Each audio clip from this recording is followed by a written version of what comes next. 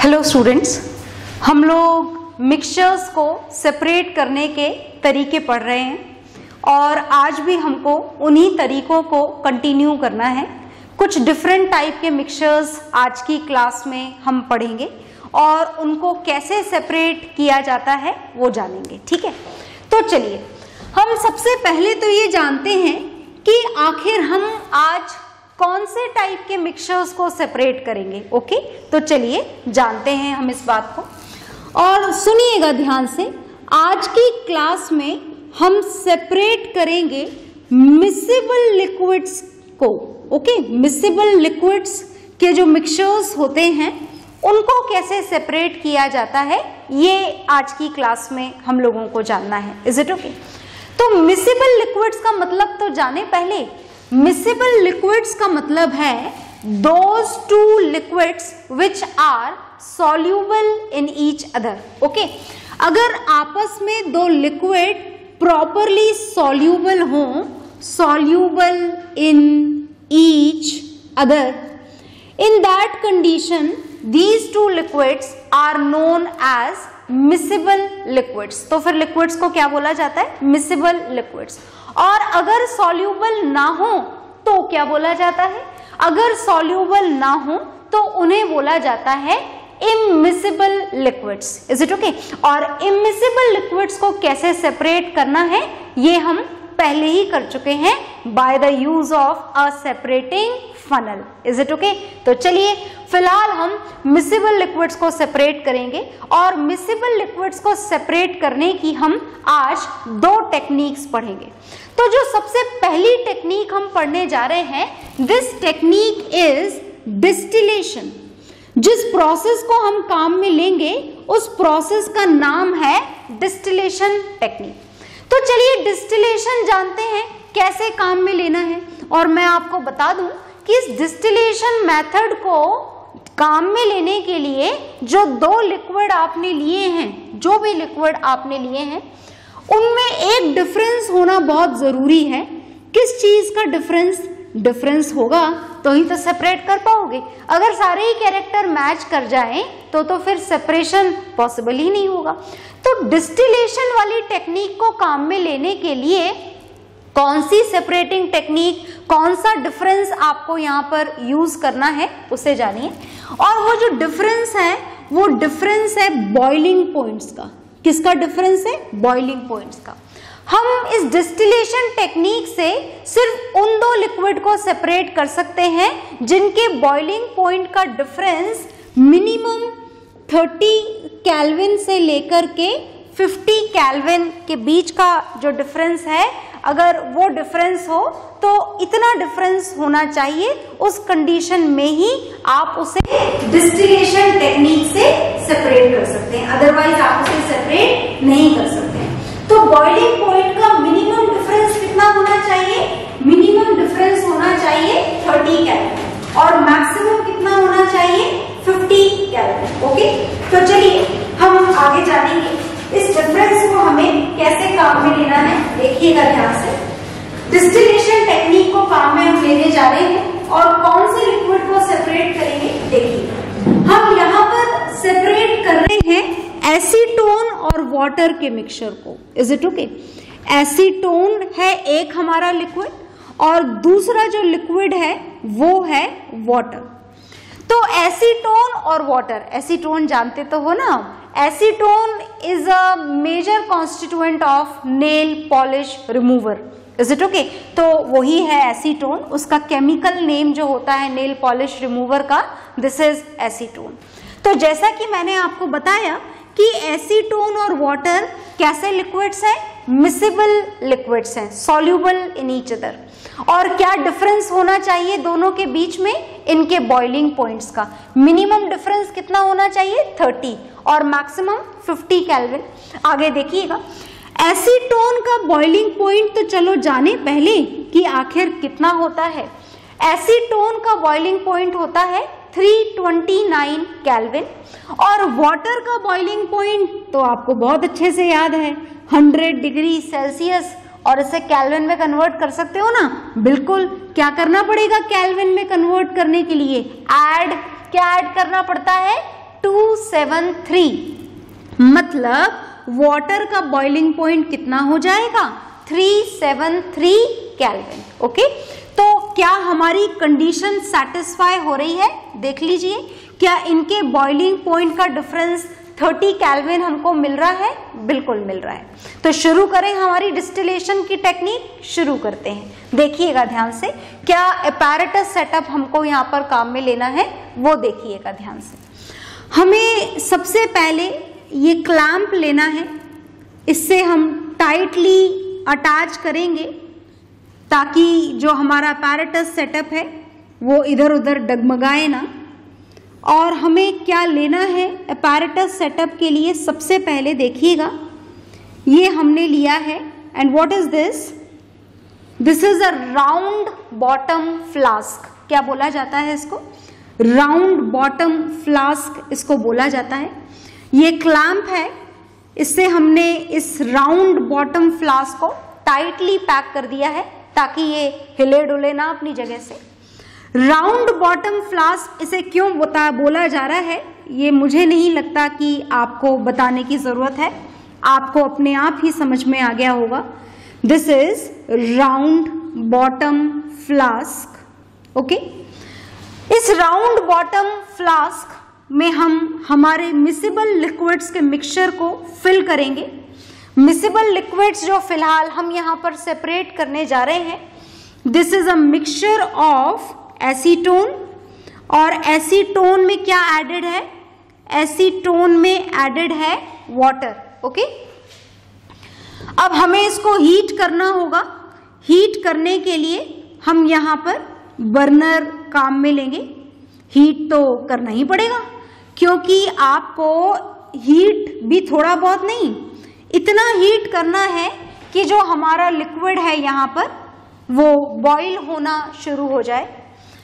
अब हम इनके बॉइलिंग पॉइंट्स को टेम्परेचर को मेजर कर सकें। इसके लिए हम यहाँ पर क्या लगा रहे हैं, समझ गए ना आप? दिस इज़ थर्मामीटर ये हमने थर्मामीटर लगाया है यहाँ पर। इसका नाम हम लिख देते हैं।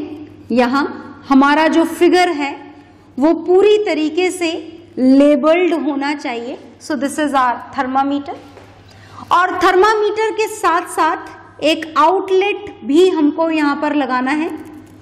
एक एक करके मैं सबका यूज़ आपको बताऊँगी। पर फ़िलहाल आप देखें कि ये एक आउटलेट है। और ये हमने इसे बिल्कुल स्टॉप कॉक से टाइट पैक कर दिया है। ताकि बनी हुई वेपर्स कहीं इधर उधर ना जाएँ ओके और यहाँ पर भी हमने कुछ लगाया है। क्या लगाया है वो मैं अभी थोड़ी देर में बताऊँगी आपको ओके और ये जो लगाया है, इसका एक नाम है। नाम भी है और काम भी है। तो नाम और काम दोनों बताते हैं, चलिए आपको। दिस इज़ कंडेंसर कंडेंसर है ये। कंडेंसर का मतलब जो कंडेंसेशन का काम करे और कंडेंसेशन का मतलब जो गैस को लिक्विड में कन्वर्ट करे। इसी प्रोसेस को तो हम क्या बोला करते हैं? कंडेंसेशन और सिंस ये कंडेंसेशन का काम कर रहा है, याद है ना condensation condensation is the process of conversion of gas into liquid is it okay तो ये कंडेंसेशन का काम कर रहा है, इसीलिए हम इसे कंडेंसर बोल रहे हैं। और ये कंडेंसेशन का काम कर सके, इसके लिए हम लगातार इसमें इस वाले इनलेट से कोल्ड वाटर सप्लाई कर रहे हैं। इज़ इट ओके और कोई सी भी चीज़, सिर्फ़ पानी ही नहीं, चाहे वो गैस हो, चाहे वो वाटर हो, चाहे वो कोई सा भी लिक्विड हो जैसे जैसे गर्म होता है हर गर्म चीज़ की टेंडेंसी होती है ऊपर की तरफ़ मूव करने की start moving in the upward direction पढ़ा है ना आप लोगों ने? विंड्स के फॉर्मेशन में भी, बिल्कुल। तो जैसे ये पानी गर्म होगा it start moving in the upward direction and this is the outlet for hot water मतलब आप समझ गए ना कि इस कंडेंसर में कंटिन्यूसली सप्लाई बनी रहनी चाहिए किस चीज़ की? कोल्ड वाटर की सप्लाई ओके ताकि ये ठंडा करता रहे। ठंडा ही तो करना है। किसको ठंडा करना है? वेपर्स को किसमें कन्वर्ट करना है? लिक्विड में कौन सी vapours that will see later फ़िलहाल आप देखिए, यहाँ पर ये जो आउटलेट है, यहाँ पर हमने इसमें से निकलने वाले मटेरियल को कलेक्ट करने के लिए ये एक बीकर लगा दिया है। क्या लगा दिया है? बीकर लगा दिया है। इज़ इट ओके तो ये है हमारा finally apparatus arrangement for the procedure of distillation तो मैं दोबारा आपको रिपीट करके सारी काम की बातें बताने जा रही हूँ। दोबारा ध्यान से सुनिएगा। हम फ़िलहाल मिसिबल लिक्विड्स को सेपरेट करने जा रहे हैं और मिसिबल लिक्विड्स का मतलब क्या है? Those liquids which are soluble in each other, जो प्रॉपरली आपस में डिजोल्व हो जाते हो, ऐसे दो लिक्विड्स को अगर हमको सेपरेट करना हो तो जिस सेपरेटिंग टेक्निक को काम में लिया जाता है दिस इज़ डिस्टिलेशन और डिस्टिलेशन की जो लिमिट है, वो मैंने आपको बता दी है कि उन दोनों लिक्विड्स को जिनको हम सेपरेट करने जा रहे हैं, उनके बॉइलिंग पॉइंट में डिफरेंस होना चाहिए, और मिनिमम जो डिफरेंस है, वो कितना होना चाहिए? 30 कैलविन वैसे तो यहाँ मैक्सिमम 50 कैलविन लिखा है, पर अगर 50 कैलविन से ज़्यादा भी हो तो भी डिस्टिलेशन टेक्निक को काम में लिया जा सकता है। ओके आगे देखिएगा। तो हम फ़िलहाल जो मिसिबल लिक्विड्स यहाँ सेपरेट करने जा रहे हैं first of them is acetone whose boiling point is here in front of you. You have to learn this value.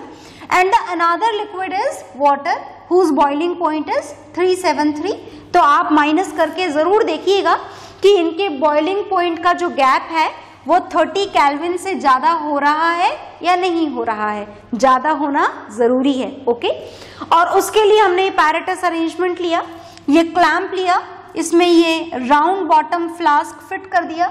Round bottom बोलने का कारण as the bottom is round we are going to heat it with the help of this burner and in this round bottom flask what has to be taken a mixture of two miscible liquids which has to be separated by the technique of distillation okay हमने temperature note down करने के लिए ये thermometer लगा रखा है इसकी बनी हुई वेपर्स को बाहर जाने के लिए ये आउटलेट लगा रखा है आप इसे भी लेबल कर दें आउटलेट है ये वेपर्स को बाहर लेके जाएगा इसकी बनी हुई वेपर्स को ठंडा करने के लिए वेपर्स आ रहे हैं यहाँ से, ये वेपर आते आते ठंडी हो जाए लिक्विड में कन्वर्ट हो जाए, इसके लिए हमें कंडेंसेशन करना होगा और कंडेंसेशन के लिए इस वेपर को ठंडा करना होगा।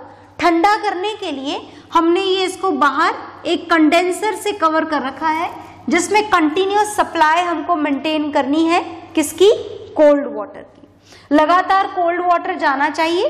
हॉट जैसे ही हो जाएगा, वैसे ही हम बाहर निकाल लेंगे। दोबारा कोल्ड वाटर सप्लाई करेंगे। तो मतलब इस कंडेंसर में कंटिन्यूसली कैसा पानी रहना चाहिए, कोल्ड वाटर रहना चाहिए। आ गई बात समझ में? तो ये हमारा अपैरेटस अरेंजमेंट है। अब कॉन्सेप्ट क्या है? कॉन्सेप्ट सुनिएगा। हमने मिक्सचर ले लिया दो चीज़ों का एसीटोन का और वाटर का। एसीटोन का बॉइलिंग पॉइंट हमें याद है। याद रखना पड़ेगा आपको। हर लिक्विड का बॉइलिंग पॉइंट तो नहीं but at least to give an example in the exams at least one example has to be learn with their boiling points तो आप यही वाला लर्न कर सकते हैं। एसीटोन का बॉइलिंग पॉइंट है 329 कैलविन और वाटर का बॉइलिंग पॉइंट है 373 कैलविन तो जैसे ही आप इसे हीट करेंगे टेम्परेचर बढ़ना शुरू होगा। और बढ़ते बढ़ते टेम्परेचर पहले 329 पर पहुंचेगा या 373 पर? ये तो बहुत ही सिंपल सा क्वेश्चन है। डेफिनेटली टेम्परेचर पहले कहाँ पहुंचेगा? टेम्परेचर पहले पहुंचेगा 329 कैलविन पर। तो जैसे ही टेम्परेचर 329 कैलविन होगा इस मिक्सचर का, इसमें से वेपर्स बनना शुरू हो जाएँगी। और वेपर्स किसकी बनेंगी? वेपर्स सबसे पहले बनेंगी एसीटोन की। किसकी वेपर्स बनेंगी? एसीटोन की। क्या वाटर की भी बन जाएँगी? नहीं नहीं, बिल्कुल भी नहीं। वाटर का बॉइलिंग पॉइंट 373 केल्विन है और अभी टेम्परेचर इसका 373 केल्विन नहीं हुआ है। अभी टेम्परेचर कितना हुआ है? अभी टेम्परेचर 329 केल्विन हुआ है। इज़ इट ओके तो ये 329 केल्विन पर एसीटोन की वेपर बन रही हैं। ये वेपर इस आउटलेट में से जा रही हैं, इस कंडेंसर के अंदर। कंडेंसर इस एसीटोन की वेपर को क्या करेगा? कूल करेगा कंडेंस करेगा लिक्विड में कन्वर्ट करेगा लिक्विफाई करेगा। और ये लिक्विफाइड एसीटोन यहाँ पर ड्रॉप बाय ड्रॉप इस बीकर में आकर कलेक्ट हो जाएगा।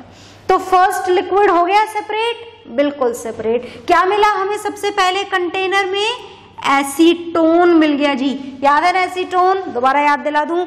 Major component of nail polish remover is it okay तो आप बहुत अच्छे से जानते हैं इस एसीटोन को। चलो भाई तो एसीटोन जैसे ही मिल जाए आपको, आप इस बीकर को यहाँ से हटा लीजिए।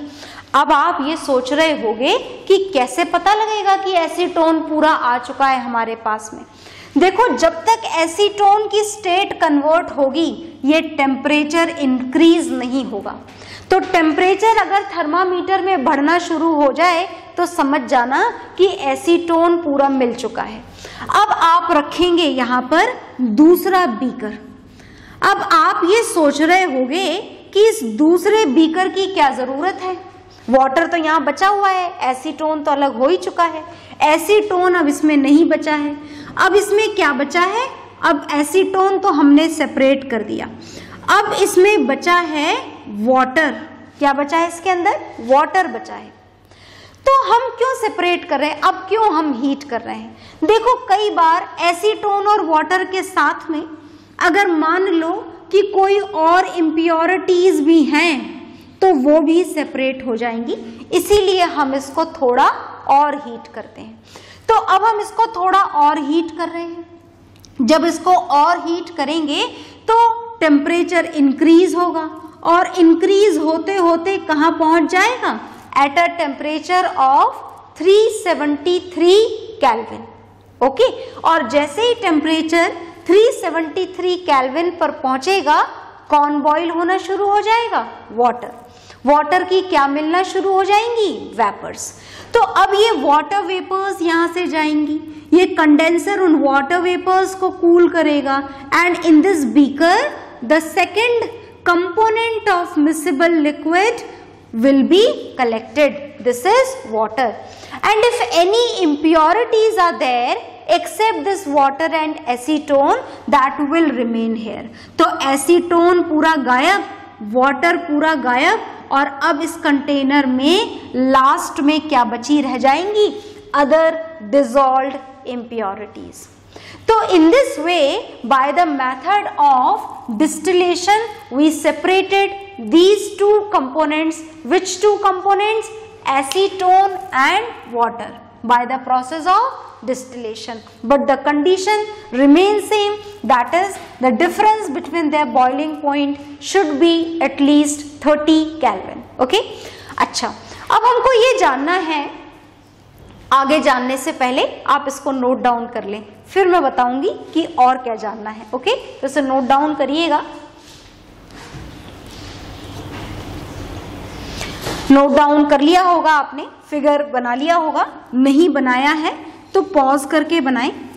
और अब जो हमको जानना है, वो हमको ये जानना है कि अगर मिसिबल लिक्विड्स हों, आपस में सॉल्यूबल भी हों और बॉइलिंग पॉइंट का डिफरेंस 30 कैलविन ना हो तो कैसे सेपरेट किया जाए? ये हमको जानना है। समझ में आई ना बात? क्वेश्चन मार्क कहाँ पर है? ये क्लियर हो गया ना आपको? तो कंडीशंस आर ऑलमोस्ट सेम हमारे पास में दोबारा से क्या है? टू मिसिबल लिक्विड्स मिसिबल का मतलब ही क्या होता है? Soluble in each other okay for example मैं आपको एक मिक्सचर बताने जा रही हूँ। जैसे हमारे पास में एक मिक्सचर है this is a mixture of chloroform and benzene we have a mixture of chloroform and benzene is it okay तो अगर क्लोरोफॉर्म और बेंजीन का मिक्सचर हो तो कैसे सेपरेट किया जाए? क्या प्रॉब्लम है इसको सेपरेट करने में? ये हमको यहाँ पर जानना है।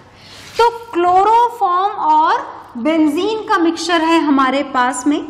क्लोरोफॉर्म और बेंजीन के बॉइलिंग पॉइंट्स अगर देखे जाएँ तो ये हैं इनके boiling points three three four kelvin and three five three kelvin is it okay तो देखिएगा, अगर ये डिफरेंस हो इनके बॉइलिंग पॉइंट में थ्री थ्री फोर और थ्री फाइव थ्री कैलविन तो क्या थर्टी कैलविन का जो गैप हमको चाहिए था, वो मिल रहा है हमको गैप नहीं, ये गैप हमको नहीं मिल रहा है।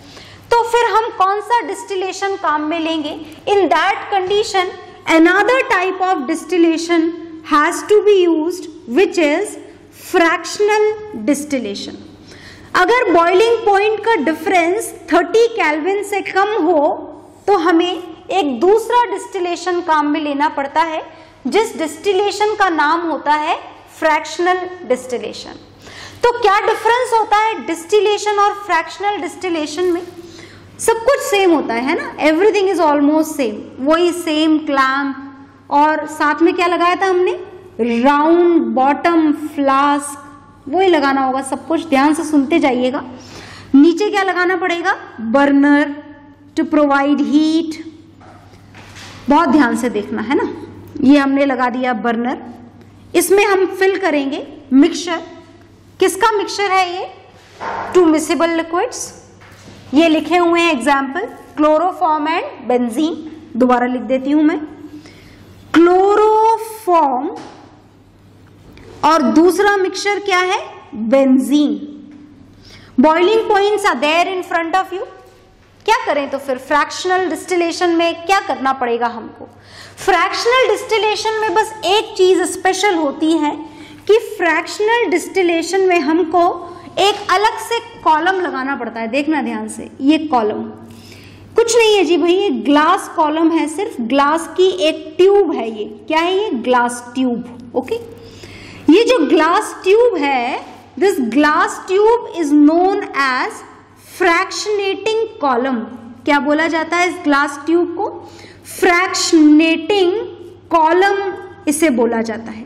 इज़ इट ओके ये जो फ्रैक्शनेटिंग कॉलम है, इसमें भर दिए जाते हैं कुछ पत्थर के टुकड़े स्टोन पेबल्स है ना ग्लास पीसेस जो भी आप भरना चाहें, कुछ भी चलेगा। इज़ इट ओके हाँ ऐसा मत भर दीजिएगा, जो वेपर से रिएक्शन करने लग जाए। अनरिएक्टिव चीज़ आपको यहाँ पर फिल करनी होती है। और साथ में, अब आप लगा दें यहाँ पर थर्मामीटर लगा दें, जैसा आपने पहले लगाया था। ओके और यहाँ पर लगा दें ये आउटलेट आउटलेट में थोड़ा बड़ा सा बना रही हूँ। ये आउटलेट हमने बनाया। ये आउटलेट बना दिया हमने। और इसको बिल्कुल स्टॉप कॉक से, जैसे पहले आपने फिट करा था टाइटली फिट करेंगे। दो चीज़ें यहाँ पर एडेड हैं क्लोरोफॉर्म एंड बेंजीन क्लोरोफॉर्म का बॉइलिंग पॉइंट कम है तो पहले बॉइल हो जाएगा। बेंजीन का बॉइलिंग पॉइंट ज़्यादा है, बाद में बॉइल होगा ओके इसका यूज़ आप समझ चुके हैं this is condenser to cool the vapors which are coming from the round bottom flask and finally that will be changed into the liquid. And for this condensation a continuous supply has to be there that is of cold water. And this is the outlet for hot water. And now a container, a beaker has to be kept to collect the liquid which is coming out from the condenser. Okay? तो ये हो गया जी हमारा apparatus arrangement difference क्या है? Distillation में हमने ये नहीं लगाया था फ्रैक्शनेटिंग कॉलम और यहाँ हमने ये फ्रैक्शनेटिंग कॉलम लगाया है. कारण और यूज़ क्या है इस फ्रैक्शनेटिंग कॉलम का? सुनिएगा। हम इसे हीट करना शुरू करेंगे। टेम्परेचर बढ़ेगा। और जैसे ही टेम्परेचर क्लोरोफॉर्म के बॉइलिंग पॉइंट के बराबर होगा 334 केल्विन वैसे ही क्लोरोफॉर्म की वेपर्स बनना शुरू हो जाएँगी। किसकी वेपर बनेंगी पहले? क्लोरोफॉर्म की। पर प्रॉब्लम यह है कि क्लोरोफॉर्म और बेंजीन के बॉइलिंग पॉइंट में ज़्यादा डिफरेंस नहीं है। तो क्लोरोफॉर्म की वेपर्स के साथ में कुछ वेपर्स आपको बेंजीन की भी मिल जाएँगी। यही एक प्रॉब्लम है। और बेंजीन की वेपर भी मिलेंगी और क्लोरोफॉर्म की। ज़्यादा वेपर्स किसकी होंगी? क्लोरोफॉर्म की। कम वेपर्स किसकी होंगी? बेंजीन की। तो क्लोरोफॉर्म की वेपर भी जा रही है ऊपर और बेंजीन की वेपर भी जा रही है। ज़्यादा वेपर किसकी है? याद रखना क्लोरोफॉर्म की। क्योंकि अभी बॉइलिंग पॉइंट क्लोरोफॉर्म के बॉइलिंग पॉइंट के बराबर है। बेंजीन के बॉइलिंग पॉइंट के बराबर नहीं है। इज़ इट ओके तो बेंजीन की वेपर बन गई है, क्योंकि इसका बॉइलिंग पॉइंट भी इसके पास में ही है। इज़ इट ओके तो बेंजीन की वेपर बनी तो है, पर कैसी है? बहुत कम एनर्जेटिक धीरे धीरे ऊपर जा रही है। तो क्लोरोफॉर्म तेज़ी से ऊपर जा रहा है और बेंजीन धीमे धीमे तो बेंजीन की वेपर की स्पीड तो वैसे ही कम है ऊपर से इतने सारे ऑब्स्टिकल्स आपने और रखे हुए बीच में, इतने सारे stone pebbles glass pieces and all and all इन सबसे टकराते टकराते टकराते टकराते जो बेंजीन की स्लो मूविंग वेपर्स थी, वो कंडेंस हो जाएँगी यहीं पर और दोबारा नीचे आ जाएँगी। कौन नीचे आएगा वापस से? वापस से नीचे आएगा बेंजीन बेंजीन क्यों आया? क्लोरोफॉर्म क्यों नहीं आया वापस नीचे? क्योंकि क्लोरोफॉर्म का बॉइलिंग पॉइंट पहुँच चुका है। क्लोरोफॉर्म की वेपर्स हाईली एनर्जेटिक हैं, ज़ोर से ऊपर जा रही हैं। क्लोरोफॉर्म की वेपर्स स्पीड के साथ में ऊपर जा रही हैं। बेंजीन की वेपर धीमे धीमे ऊपर जा रही थी लेस एनर्जी के साथ में। आ गई बात समझ में? तो क्लोरोफॉर्म की वेपर इन सारे ऑब्स्टेकल को कवर करते हुए इस कंडेंसर में जाएगी। कूल डाउन हो जाएगी और लिक्विड में कन्वर्ट होकर के इस बीकर में कलेक्ट कर लिया जाएगा। कौन कलेक्ट हो जाएगा? क्लोरोफॉर्म। इज़ इट ओके आ गई बात समझ में? तो फ्रैक्शनेटिंग कॉलम का यूज़ क्या है? कि जो दूसरी वेपर्स मिल रही हैं बेंजीन की, वो इन ऑब्स्टेकल से टकरा टकरा कर दोबारा कंडेंस होकर इसी में गिर जाए। ये यूज़ है। फ्रैक्शनेटिंग कॉलम का which is use in the process of fractional distillation तो यूज़ समझ में आ गया होगा आप लोगों को। क्लोरोफॉर्म हमारा यहाँ आ चुका है। बेंजीन इस कंटेनर में बाकी रह जाएगा। और हम अगर चाहें तो थोड़ा और हीट करके, जैसा पहले किया था बेंजीन को भी बीकर में कलेक्ट कर सकते हैं। If we feel that some other impurities are also there is it okay तो हम अगर बॉइलिंग पॉइंट का डिफरेंस 30 कैलविन से कम हो तो कौन सा मेथड काम में लेते हैं? फ्रैक्शनल डिस्टिलेशन और अगर 30 कैलविन से ज़्यादा हो तो हम कौन सा मेथड काम में लेते हैं? डिस्टिलेशन इज़ इट ओके तो वीडियो पॉज करके ये डायग्राम आप ज़रूर बनाएँगे। ये एग्जाम्पल्स भी आप लिखेंगे। और इसके बाद में जो सेपरेटिंग टेक्निक्स हमको पढ़नी है, और भी पढ़नी है that will see in the next class okay so bye everyone